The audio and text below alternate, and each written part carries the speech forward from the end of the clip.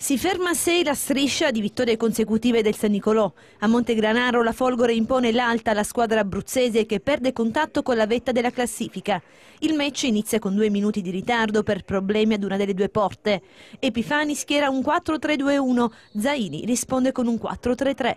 Subito pericolosa la Folgore con Padovani che si beve la difesa avversaria e a tu per tu con calore spedisce fuori. Insiste la Folgore, che si fa vedere prima con Nazziconi, poi con Pedalino che al dodicesimo tenta il tiro dalla distanza. Primo quarto di primo tempo sicuramente tutto a favore dei padroni di casa che impegnano ripetutamente calore. Al ventiduesimo si vede il San Nicolò con Petronio ma sono sempre Vere Grenzi a spingere.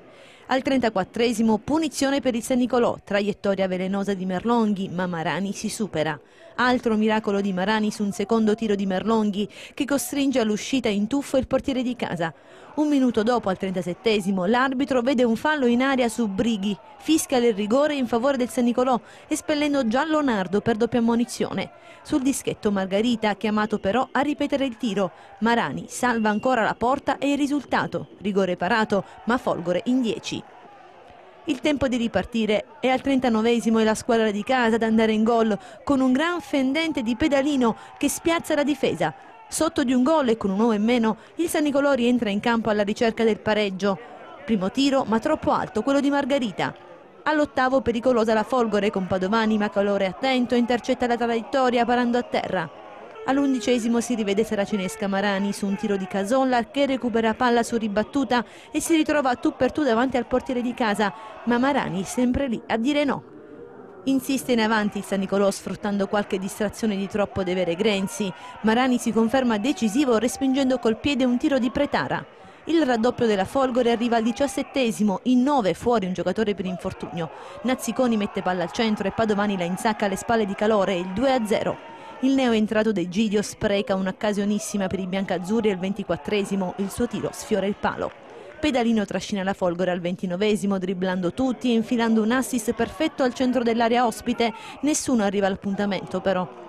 Marani si conquista altri applausi quando respinge di piede il tiro di Donatangelo da un metro.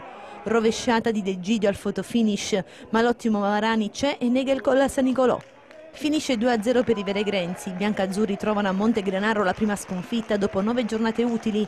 La Folgore festeggia tre punti in vista del match alla Riviera delle Palme contro la capolista Samb. Diciamo che la partita poteva anche mettersi male per noi perché c'è stato il rigore in 10, però Marani, il portiere nostro, fa parte della squadra, ha fatto una bella parata e come il calcio loro hanno preso gol in contropiede se non mi sbaglio.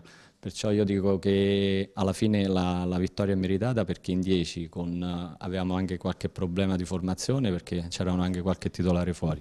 Perciò i ragazzi hanno dato il massimo di quello che potevano dare e, e nonostante in 10 abbiamo fatto anche il secondo gol, perciò dico che hanno fatto una, una prestazione egregia. San Nicolò ha giocato anche molto bene, logicamente con un uomo in più noi siamo riusciti a fare anche il secondo gol e penso che questo i ragazzi se lo meritano tutta questa vittoria.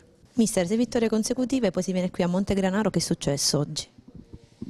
È successo che innanzitutto abbiamo contato una buona squadra, e il campo non era adeguato alle nostre caratteristiche, e abbiamo fatto due ingenuità grandissime sui gol, però credo che alla fine la squadra ha creato so, un'infinità di, di, palle gol, eh, abbiamo sbagliato un calcio di rigore, eh, sono quelle partite che secondo me sono segnate perché eh, la potevamo riaprire, la potevamo pareggiare, potevamo andare in vantaggio tante volte e, e abbiamo fatto tutto noi, poi loro sono stati bravi a capitalizzare le, credo le uniche occasioni da gol che hanno avuto. La partita era molto dura, sapevo che a livello fisico loro erano più forti di noi, però credo che se andiamo in vantaggio sul calcio di rigore la partita cambia, può cambiare totalmente però ne vengo fuori come una partita dove dobbiamo essere un po' più cattivi, dobbiamo essere più pronti nei contrasti, nelle seconde palle e dobbiamo essere più cattivi sotto porta perché abbiamo avuto, credo, oltre alla bravura del loro portiere siamo stati anche poco cattivi. Sambo si allontana un po'.